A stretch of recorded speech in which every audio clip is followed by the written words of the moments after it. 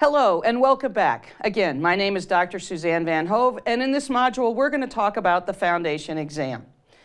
Now, the foundation exam is a typical exam within the ITIL community. It's 40 multiple choice questions. It is closed book. The passing score is 65%, which means you need to get 26 questions out of the 40 correct.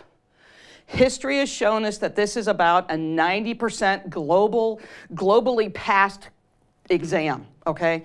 So you need to study, but at the same time, try not to stress too much about taking another exam or taking an exam for the first time in a long time.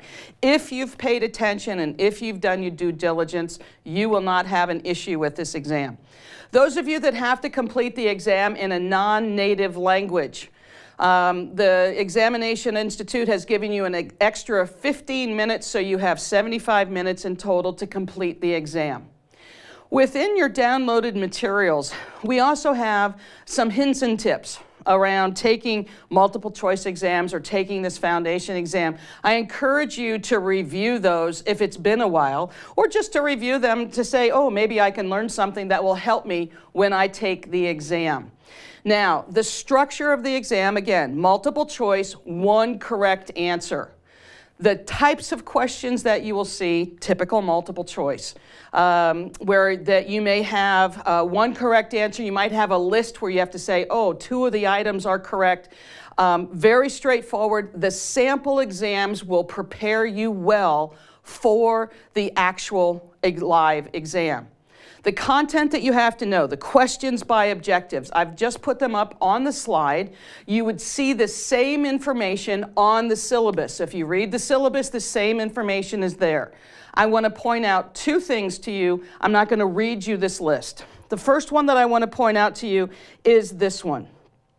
There are three questions around the service value system and the service value chain.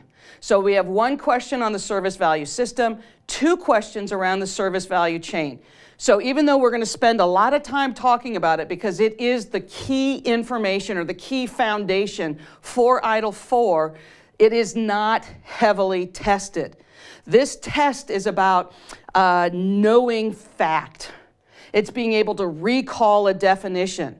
It's not about the ability to apply anything. And that's what we're going to start looking at when we get to that next level of um, instruction and exam that you're going to have to be able to apply.